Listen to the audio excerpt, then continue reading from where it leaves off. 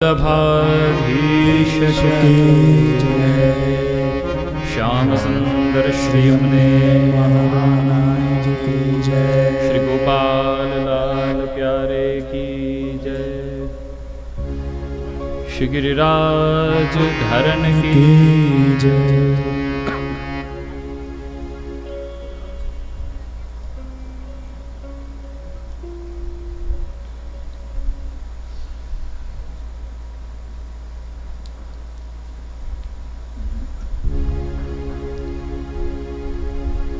मंझस्थ विराजमान, परमादरणीय।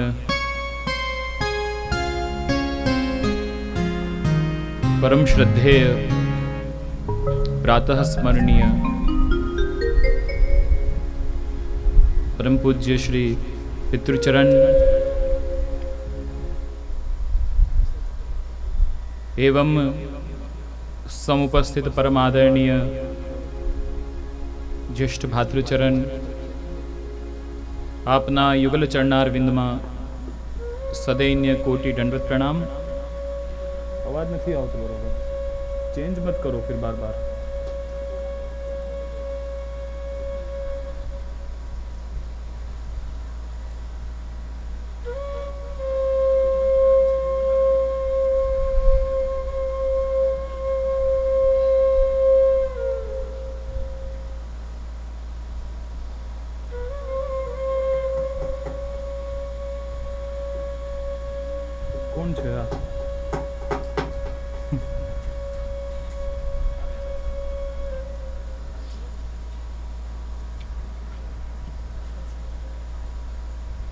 ખબર છે ને કથા ચાલુ થઈ ગઈ કે બાકી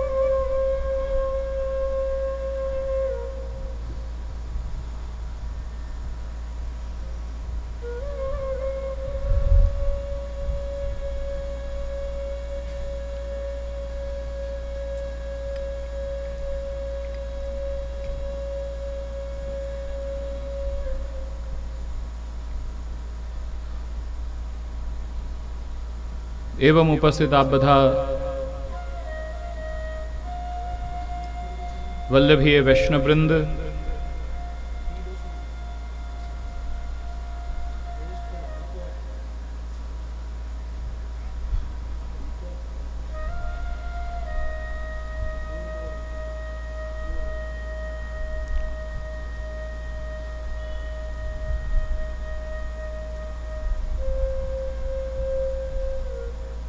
આવ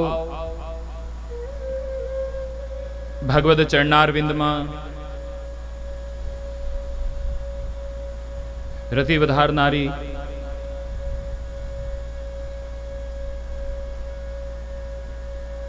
પ્રભુમાં દ્રઢતા વિશ્વાસ સુદ્રઢ કરવા વાળી એવી આ દિવ્ય શ્રીમદ ભાગવતી ગંગામાં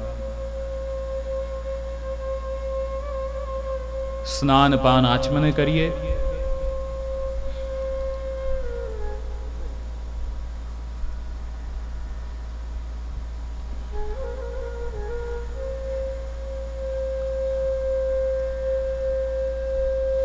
ગત દિવસે આપણે તૃતીય સ્કંદ અંતર્ગત સર્ગલીલાના દર્શન કર્યા અને તૃતીય સ્કંદના અંતમાં કપિલ ગીતાનું શ્રવણ કર્યું. એને એમાં સવિશેષ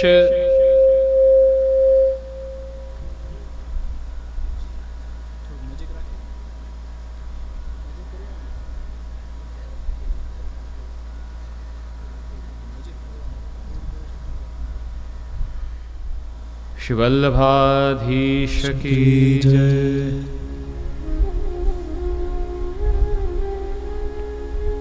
કપિલ ગીતા અંતર્ગત સવિશેષ નિર્ગુણ ભક્તિ એનું સ્વરૂપ એના લક્ષણની ચર્ચા કરી તૃતીય સ્કંદ એ સર્ગ સૃષ્ટિનું સર્જન કઈ પ્રકારથી થયું કેવી રીતે થયું અને ચતુર્થ સ્કંદ એ વિસર્ગ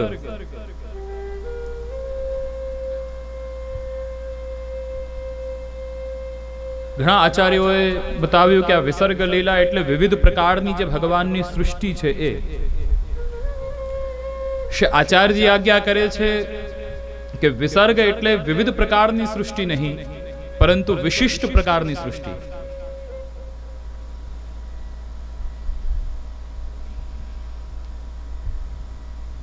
અને એ ચતુર્થ સ્કંદ અંતર્ગત વિસર્ગ લીલા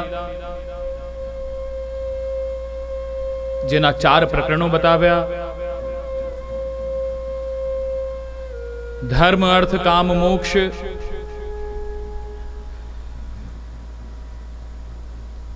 સૌથી પ્રથમ ધર્મ ધર્મ પ્રકરણ. અને એ ધર્મ પ્રકરણના ધર્મ પ્રકરણનું સાત અધ્યાયોમાં નિરૂપણ કર્યું.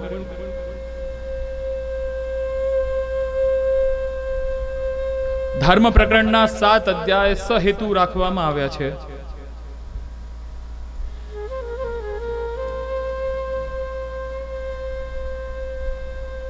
રહસ્ય બતાવતા આચાર્યો સમજાવે છે કે ધર્મની પ્રાપ્તિ ધર્મ સિદ્ધ કઈ રીતે થાય, તો એના માટે સાત પ્રકારની શુદ્ધિ જોઈએ.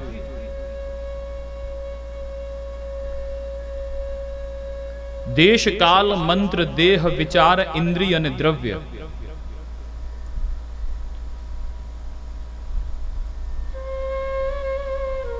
આ સાતની શુદ્ધિ થાય તો ધર્મપ્રદ સિદ્ધ થાય છે.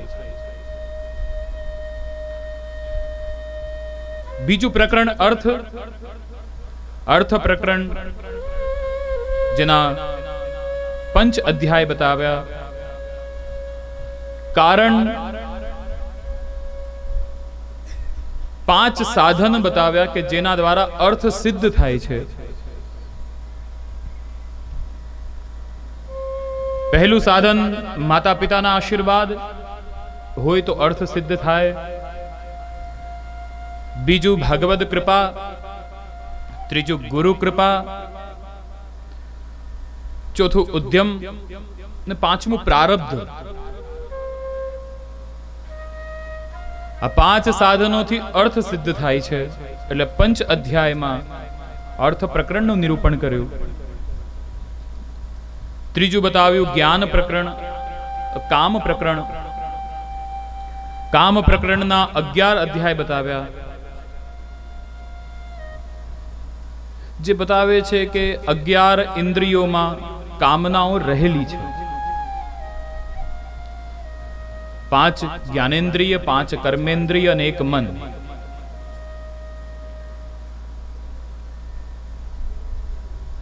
અને આ એકાદશ ઇન્દ્રિય. જ્યારે ભગવાનમાં લાગી જાય તો અલૌકિક કામ એનું સિદ્ધ થાય છે. ચોથું મોક્ષ પ્રકરણ. અને એ મોક્ષ પ્રકરણના આઠ અધ્યાયો બતાવ્યા. આચાર્યજી આજ્ઞા કરે છે કે અષ્ટધા પ્રકૃતિ છે. ભૂમિ રાપનલો વાયુ ખંબનો બુદ્ધિરૈવ ચ અહંકારિતિ તો પૃથ્વી જલ અગ્નિ વાયુ આકાશ મન બુદ્ધિ અહંકાર આ અષ્ટધા પ્રકૃતિને જે કાબુમાં રાખે એને મોક્ષની પ્રાપ્તિ થાય છે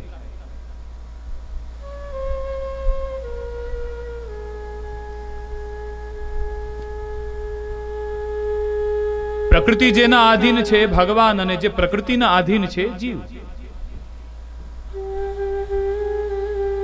હવે અષ્ટધા પ્રકૃતિને કાબુમાં લાવવું એ જીવ પોતાના સાધનથી એ કરી ન શકે. જ્યારે ભગવદ કૃપા થાય, અનુગ્રહ એ જીવ પર થાય પછી પ્રકૃતિના તત્વ એને બાધા નથી કરતા. અને જેના પ્રમાણો આપણા વાર્તા સાહિત્યમાં ઘણા જોવા મળે છે. જેમ કાશીના શેઠ તમે લો પુરુષોત્તમ દાસજી. રોજ જલની ગાગર ભરતા સેવા કરતા ઠાકોરજીની. અગાધ સંપત્તિ કોઈ સીમા નહીં. પણ પોતાના હાથથી ઠાકોરજીની સેવા કરે એવી ભાવના દ્રઢતા, નિષ્ઠા ને રોજ અપ્રસમાં સ્નાન કરીને દૂરથી જલ લેવા જતા, ગાગરમાં ભરીને લાવતા. એક દિવસ એમના પુત્રએ જોયું ગોપાલદાસજી અરે પિતાજી બયો વયોવૃદ્ધ થઈ ગયા છે. શ્રમિત થઈ રહ્યા હશે. આવીને વિનંતી કરી, લાવો પિતાજી, હું આ સેવા કરું.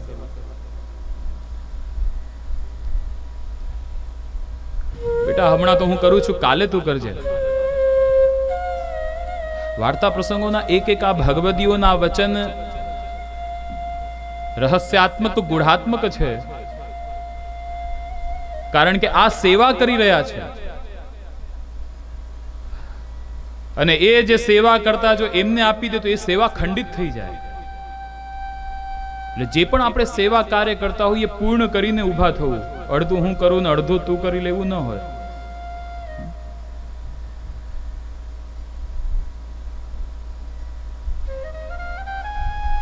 બીજા દિવસે વાર્તાજીમાં આવે છે કે જ્યારે એ અપ્રસ કરીને આવ્યા એમના પુત્ર, તો શું જોયું? જાણે આમ સોળ, સત્તર વર્ષનો છોકરો આમ દોડી દોડીને ગાગર ભરીને લઈ જઈ રહ્યો છે. એવા દર્શન થયા અને એમના ચરણમાં પડી ગયા. અરે પિતાજી, ક્ષમા કરજો, હું આપના સ્વરૂપને ઓળખી ન શક્યો. પુરુષોત્તમ દાસજી કહે, બેટા, જેને શ્રી વલ્લભનો દ્રઢાશ્રય થઈ જાય ને, એને પ્રાકૃત તત્વો બાધા નથી કરતા. એને પ્રકૃતિ સતાવતી નથી.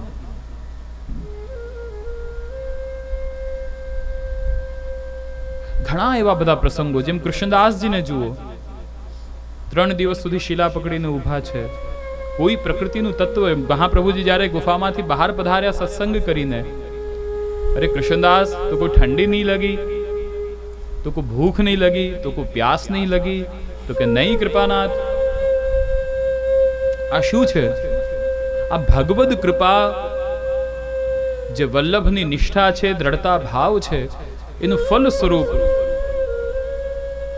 એ ભક્તના આધીન પ્રકૃતિ બની જાય છે.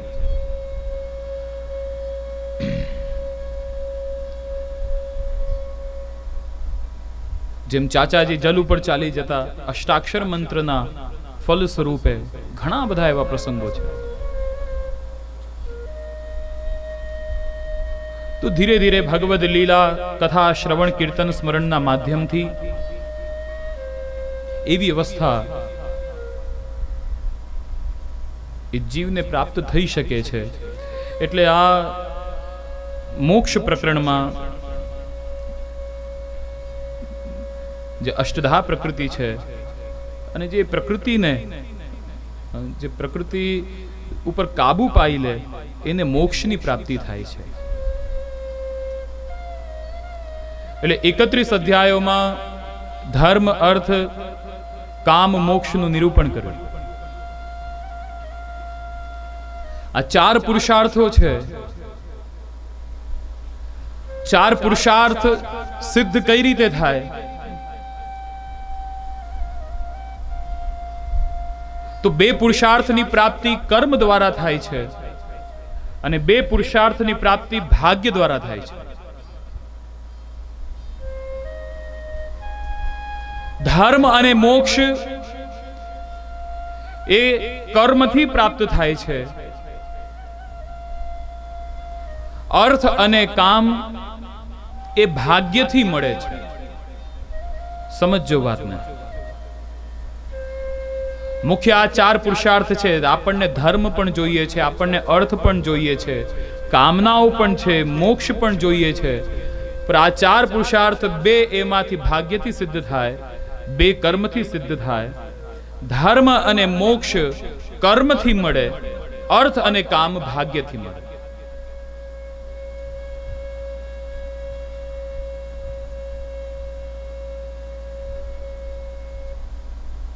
એવો નિયમ છે.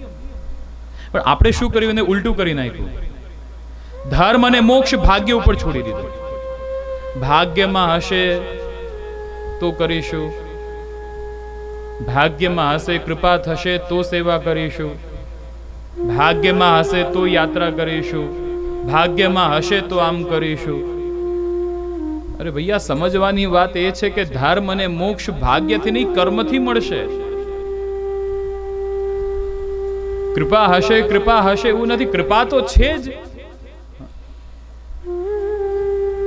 સાધારણ જીવ કહે છે કે ભગવાન, કૃપા થાય કૃપા થાય. અને ઉત્તમ પ્રકારના ભક્તો જેમ કુંતાજી ની જે સ્તુતિમાં આપણે દર્શન કર્યા. એ કહે છે કે પ્રભુ, આપના ઉપકાર, આપના, આપની કૃપા હું ક્યાં સુધી ગણાવું? કેટલી કેટલી આપની અમારા ઉપર કૃપા છે? અને સાધારણ ભક્ત કહે છે, કૃપા કૃપા થાય કૃપા થાય કૃપા થાય દ્રષ્ટિમાં ફરક છે. પ્રભુ, કેટલી કેટલી જગ્યાએ આપે અમારી રક્ષા કરી. એક તો પ્રત્યેક જીવની ગર્ભમાં રક્ષા કરવા વાળા કોણ? તો કે ભગવાન. માતા કેવું કેવું જુએ છે, કેવું કેવું ખાય, પીએ છે, સાંભળે છે. એ ગર્ભમાં કોણ રક્ષા કરે છે બાળકની? ભગવાન તો કરતે. એક તો માનવ જન્મ તમને આપ્યો. કેટલી મોટી કૃપા જે દેવતાઓ પણ લાલાયિત રહે છે. અને માનવ જન્મ સાથે કંઈક આધ્યાત્મિક ભાવ સાથે આપણને જન્મ મળ્યો. નહીં તો લોકો તો કેવા ભોગ વિલાસમાં જીવન ભોગી રહ્યા છે. પ્રવાહમાં વહી રહ્યા છે ને? કેવા, કેટલા જીવો છે એવા? પણ ક્યાંક અમારી અંદર કંઈક આધ્યાત્મિક ભાવના આપી. એ કૃપા અરે, શ્રી મહાપ્રભુજી જેવા ગુરુ આપણને મળી ગયા. કેટલી કૃપા છે. અને શ્રી મહાપ્રભુજીએ આટલો સુંદર પુષ્ટિ સંપ્રદાય એ આપણને આપ્યું.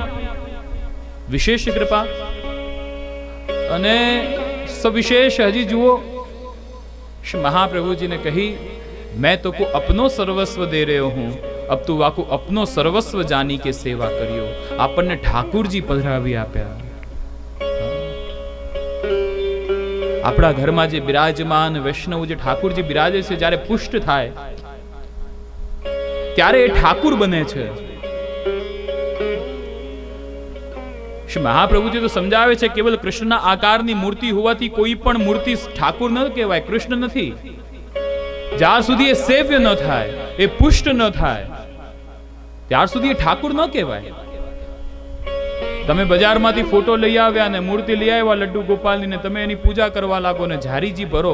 તમને એમ લાગે છે કે હું કરું છું, પણ એ સેવા નથી, એ ક્રિયા છે. એને કોઈ ફરક નહીં પડે. જ્યારે એની અંદર ભાવ પ્રતિષ્ઠા કરવામાં આવે, જેમ મર્યાદામાં પ્રાણ પ્રતિષ્ઠા કરવામાં આવે છે, એમ પુષ્ટિ પરંપરામાં, સંપ્રદાયમાં પુરુષોત્તમ પ્રતિષ્ઠા પ્રકાર શ્રી ગુસાઈજી દ્વારા જે પુષ્ટાવાનો આખો પ્રકાર બતાવ્યો છે અને જે આચાર્ય વંશજ દ્વારા જ્યારે એ એ મૂર્તિ જે તમે લઈને આવો છો, તમે આવ્યા ત્યારે એ મૂર્તિ હતી અને જ્યારે લઈ ગયા ત્યારે ઠાકુર થઈ ગયો. પછી એ ઠાકુરજી હવે આ અમારા ઘરના કોણ? તો કે ઠાકુર. આ જૂનો શબ્દ આપણો ઠાકુર આમ કે ભાઈ ગામના ઠાકુર જે મુખ્ય હોય ને, બહુ સત્તા સંપત્તિ, બહુ એનું માન હોય, એના આધીન બનીને, એના માટે બધાને રિસ્પેક્ટ હોય, કંઈ પણ કામ કરવું હોય તો પહેલાં એની આજ્ઞા લે. તો કે ભાઈ આ અમારા ગામના ઠાકુર છે, કે અમુક જગ્યાએ એવું બોલે કે આ ગામના પટેલ છે, કે આમ છે, તેમ છે. એવી રીતે હવે જ્યારે એ ઠાકુર પધારી ગયા, તો અમારા ઠાકુર અમારા ઘરમાં બિરાજતો કૃષ્ણ. એ મુખ્ય છે, અમે બધા એના દાસ થઈ ગયા.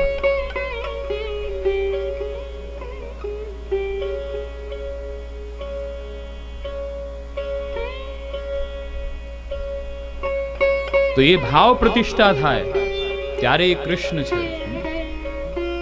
જે મામા આ વસ્તુ સમજવા માટે બહુ ચોપડાઓ કે બહુ ગ્રંથો વાંચવાની જરૂર નથી, આ સીધી સીધી વસ્તુ છે.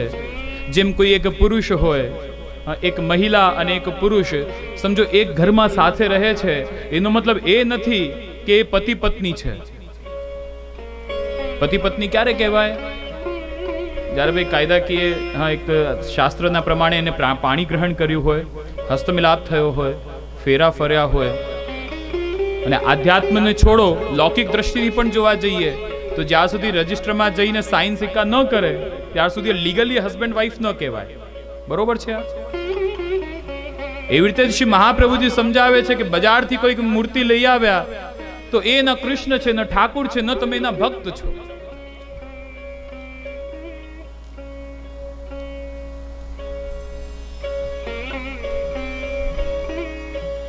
તો આ પ્રાણ ભાવ પ્રતિષ્ઠા જ્યારે થાય ત્યારે ઠાકુર તો શ્રી મહાપ્રભુજીની કેટલી કૃપા આપણને ઠાકુરજી પધરાવી આપ્યા. તો કૃપા તો છે.